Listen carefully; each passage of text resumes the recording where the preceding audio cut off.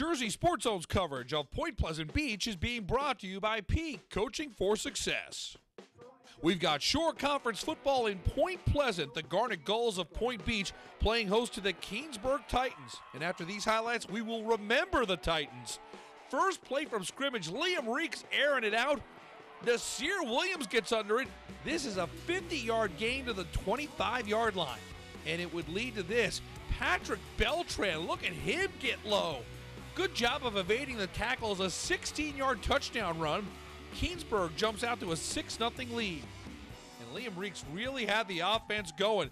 This swing pass to Hunter McDonald. McDonald down the near sideline, 31 yards, makes it 14 0 Keansburg at the end of one. The Titans defense played hard nosed football. Ronald Rotundella forces the fumble. Hunter McDonald with the fumble recovery.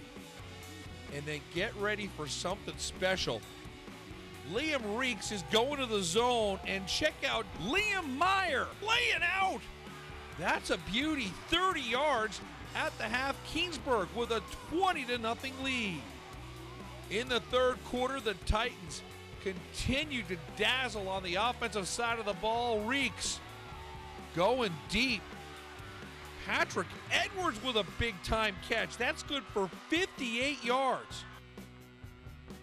And then Riecks would continue to pass real efficiently. This is Hunter McDonald with his second touchdown of the game, a 13 yard score.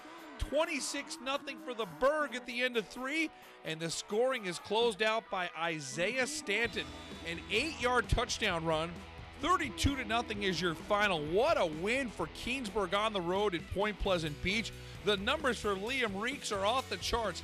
8 of 9 for 181 yards passing and 3 touchdowns. McDonald had 2 scores, and I got a feeling we're going to see Liam Meyer's 30 yard touchdown catch as a top play nominee on Sunday.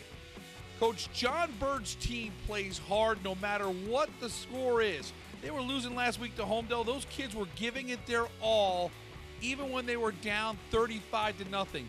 And it's that kind of effort that pays dividends. A great job by this Keansburg staff. What a bounce back win.